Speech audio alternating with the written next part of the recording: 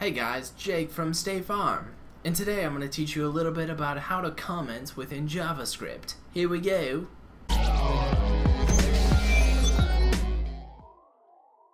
Hey guys, welcome back and we're going to teach you a little bit about commenting and why it's important within this tutorial here. So, first things first, we've got our basically our, our scene set up within jsbin.com. You go there, basically an online interface for JavaScript. Watch the first tutorial if you haven't seen this already.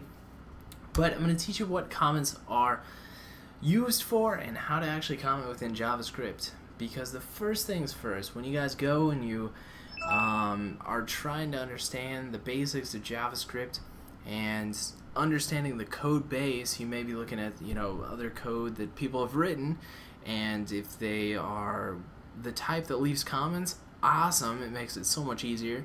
Or if they're the type that just sits there and they just program their stuff and they are the only ones that know exactly what they're writing, that is an issue because we, we you know, you, when you're working together within a team, within a group of people, you want to know why and where the methods are that you're using to actually call those functions in different parts of your program.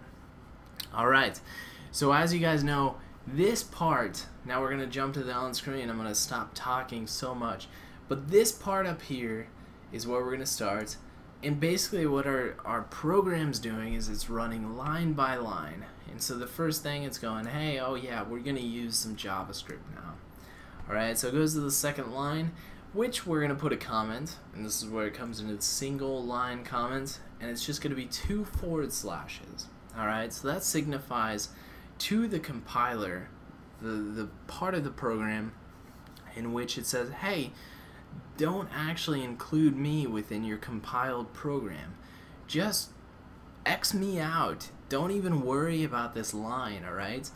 And that's what's going to tell the compiler, don't look at this phrase here because all we're gonna write here is hey hey yo comments and don't compile me alright so that first forward slash forward slash is gonna allow the compiler to skip over that particular line alright so the same thing can go for let's say you have a specific method here and you don't want it to actually compile within your um, application, your program, maybe you're debugging and you're like, maybe this is an issue, you can actually comment that out and therefore your document.write, your text, your string that's with included in there, will no longer be in the output because it's basically telling the, the compiler, hey, skip over this particular line. Alright, so that is the single line comment slash whatever you want to do, debugging, tactics, uh, kind of a weak way to do it, but it's another way to debug.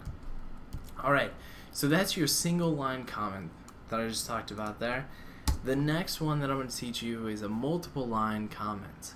And so this may be where you want to put a block of code or you isolate a block of code when you're debugging and kind of hold it and you know tell your compiler to skip over this code or maybe you just want to write a paragraph of information for your fellow developers, your team members, saying, hey, oh my goodness, this stuff right here in this block, this is going to be, uh, you know, a whole paragraph worth of stuff.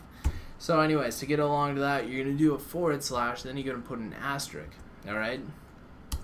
And basically that right there tells tells the compiler that anything after that forward slash and asterisk is going to be a comment, a multiple line comment. Now to end the multiple line comment, because you're probably wondering, well that's an open-ended statement there. We're going to put in a asterisk followed by a forward slash, alright? And then anything in between is going to be, you know, not compiled or it's not going to be actually put into the program and developed. So we can write whatever you want in here. And it's not going to affect our program because it's within our multiple line comment structure. Alright? So there we have two different uh, concepts there. We have the single line, which you guys saw up here, and then we have the multiple line commenting system there, which you can you know use for blocks and different things there. So basically, as we wrap up this tutorial, comments are used for one of two things. One, to notate where your code and what you're doing within your code is uh, for your programs And the second is kind of a debugging tactic where you can isolate code and say, hey, don't run at this given time because we have an issue within this code or we haven't completed you yet. So it isolates and it comments, notates, and lets other people know. So now you know how to comment in JavaScript. Guys, we'll catch you later.